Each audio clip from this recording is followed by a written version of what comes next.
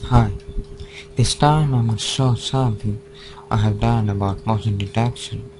It's done by Java AWT and Java Media Framework. This program can access the webcam and capture frames 10 times a second and also analyze them with two follows, along x-axis and y-axis. And it detects the changes that happens every time it captures the frames. The change is shown in color as seen in this video.